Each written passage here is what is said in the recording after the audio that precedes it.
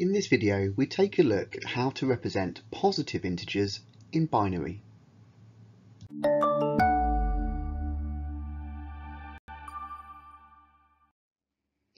So we live in an analogue world.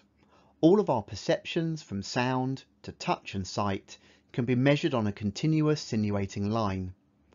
Take this simple example of turning a light on and off again. To us, it might appear that the light immediately changes from one state to another. If we could slow time down, however, we would notice a gradual increase of light followed by a gradual decrease, which can be represented by the curved line. Digital systems, such as computing devices, don't operate like this. In our digital representation, this light exists in one of two binary states, either on or off, and it switches instantly between them, as shown here. So let's remind ourselves what binary is. A binary digit, or bit, is a 0 or a 1. Having just two states makes it simple to build electronic devices that use these two states. For example, in RAM, data can be represented with capacitors, they either hold a charge, 1, or they don't hold a charge, 0. Having further states would make the components more difficult to build and potentially more prone to error. Data on hard disks can be stored using magnetism with north and south polarity representing 1 or 0. Data on optical discs can be stored such that light from laser can either be reflected from the surface or not, 0 or 1. And data on memory sticks can be stored by trapped electrons or free electrons, 0 or 1. So have you ever asked yourself the question, what exactly is 011001110 or indeed any sequence of binary digits? When you first look at it, you probably think, well, that has to represent something. That's probably a number. But as you've learned from the previous part of this video, everything in a computing system has to be stored as a series of zeros and ones, for example, high and low voltages. This pattern of bits could actually represent many different things. It all depends how we interpret it. So for example, if we shoved those pattern of bits 011, 00110 through the ASCII character set, what would pop out would be the lowercase letter f. The exact same pattern of bits interpreted as a signed binary integer in 2's complement would result in the number 102 and indeed, this same bit pattern could be interpreted in many different ways and could represent many different things. If this was a black and white image which was using one bit to store each pixel, then this sequence of bits would represent eight black or white pixels. If this was a 24-bit colour image, then this bit pattern could represent the value for the red, blue or green element of a single pixel. And if this was passed through a digital to analog converter, then this pattern of bits would represent part of an analog waveform that was coming out of a speaker. The point here is that there is no way of knowing what a particular pattern of bits actually represents until you know how to interpret that data. So denary, or the base 10 number system, is the number system which you will be most familiar with. It's the one that you've been learning ever since you were a small child, ever since you first started to count. It contains just 10 unique digits, 0 through to 9, hence why it's known as base 10, because there's 10 unique digits available. Now, incidentally, why do you think our number system has evolved in this way? Well, the answer is that no one actually really knows the answer, but it could quite possibly have something to do with the fact that we have a total of 10 fingers and thumbs, so it became natural to count up to 10 on our digits. With the denary system, we have no unique digit for the number 10, or indeed for any number higher than 9. We have to put the digit 1 and 0 together in order to get the number 10. So let's look at how that actually works with larger numbers. Well, we'll start with the 10, and obviously I've written that out here. Now I've got two leading zeros on the beginning, but that doesn't affect the fact that this is the number 10, 0010.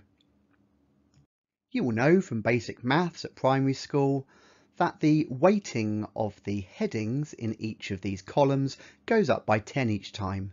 So what I have here is naught to thousands plus naught to hundreds plus 1 in the tens column plus naught in the ones column, so the number 10.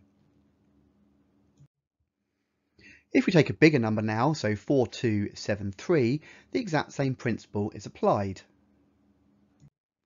The column on the far left is our thousands column, so we have 4 times a thousand. We add that to the next column, which is two lots of 100. We add that to seven lots of 10 and three lots of ones with 4,273. Now, of course, we don't perform that calculation in our head. When we see the number 4273, we are so used to it now that we simply read it straight out as 4,273. Notice once again how the column weightings, that's the headings, are increasing by a factor of 10 every time we move one space to the left. And this is because decimal is a base 10 number system.